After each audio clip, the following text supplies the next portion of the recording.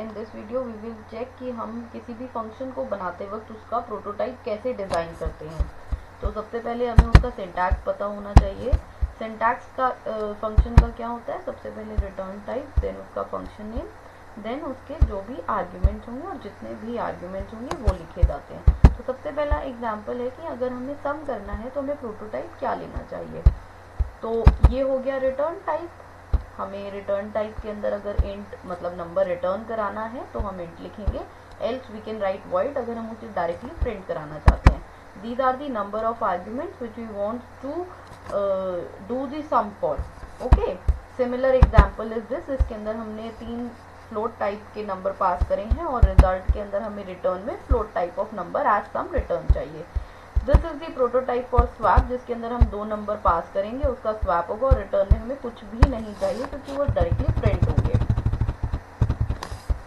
Then sum of the digits of the number इसका मतलब है कि अगर हम वन टू थ्री पास करेंगे तो one plus two plus three is equal to six return होना चाहिए। इट मीन्स रिटर्न में हमें एक वैल्यू चाहिए दैट इज़ सिक्स अगर सिक्स रिटर्न में चाहिए तो six is the integer type of value वो हम यहाँ पे रिटर्न टाइप में लिख देंगे।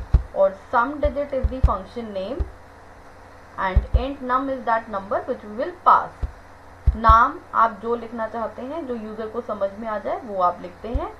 दिस इज़ द आर्ग्यूमेंट जो आप पास करेंगे and this is the result which you want to be in this data type okay next question ये है कि आपने एक नंबर पास किया, उसको इवन और चेक किया और फिर आप रिटर्न कराएँगे। तो रिटर्न में हमें कुछ भी नहीं कराना यहाँ पर यहाँ पर हमें सिंपली प्रिंट कराना है कि वो नंबर जो यहाँ पास करेंगे, वो इवन है या ऑड है, ये नाम उसका रखा और वॉइड क्योंकि there is no return type next is to check the number if palindrome और नॉट तो पैलेंड्रॉम कब होता है? नंबर जब उसका रिवर्स वही होता है।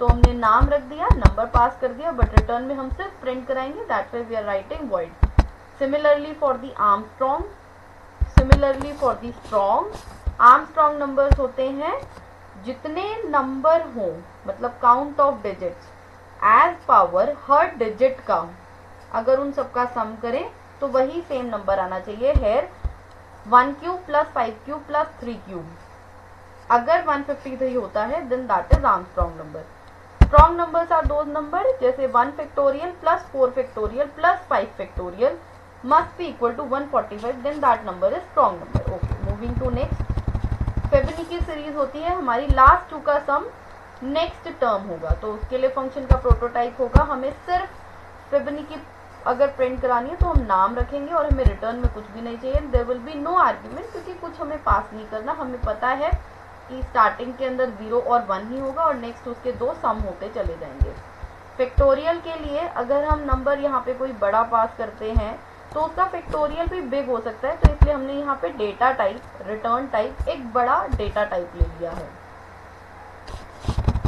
नेक्स्ट इज़ वेरी इजी हम नंबर पास करेंगे यहाँ पे। और उसको चेक करेंगे कि वो प्राइम है या नहीं और वॉइड ही लिखेंगे क्योंकि हमें रिटर्न टाइप में कुछ भी नहीं चाहिए that could be void next question is little different कि हमें बताना है कि गिवन रेंज हम देंगे, उस गिवन रेंज में जितने भी पैलेंड्रॉम नंबर्स हों, वो सारे प्रिंट कराने हैं। तो प्रिंट कराने तो हमें रिटर्न टाइप से कोई मतलब नहीं है that's why we are writing void and and start जहाँ से हमें स्टार्ट कराना है, जहाँ तक हमें खत्म करना है जो भी रेंज क्वेश्चन हमें देगा, हम उसे यहाँ पे कॉलिंग के टाइम पे लिख देंगे और ये हमें palindrome as per the code you have written in the function आप वो यूज़ कर सकते हैं। This one is also similar for Armstrong this one is also similar this one is also similar moving to next this one is also similar moving to next now next is हमें function prototype लिखना है to convert decimal to binary तो D to B हमने इसका नाम लिखा according to our need number हम decimal pass करेंगे इंटीजर टाइप का और रिटर्न में हमें इंटीजर टाइप का बाइनरी नंबर मिल जाएगा।